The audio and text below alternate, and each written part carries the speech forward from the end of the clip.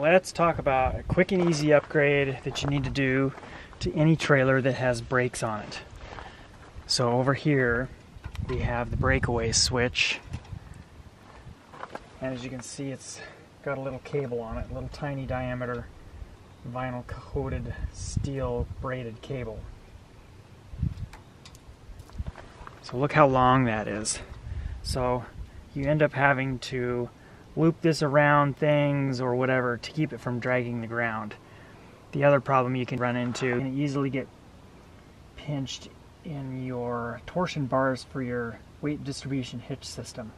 So you can see that is at least a foot longer than it needs to be. So what I always do with every trailer that I own is I put this ZIP breakaway cable by Fastway. This is a six foot version. There's also a four foot version.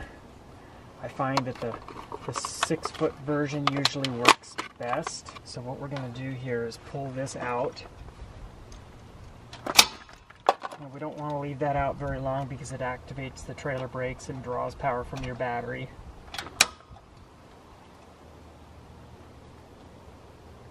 And the measured length of this is if this cable is completely stretched straight. So this being the six footer, you can see that it does kind of stretch out a little bit.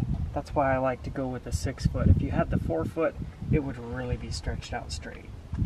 The six foot version works best with weight distribution hitch because your typical weight distribution hitch has the ball positioned about four inches further back than a normal standard ball mount on a non-weight distribution hitch. So we just hook this in there just like normal and we're good to go.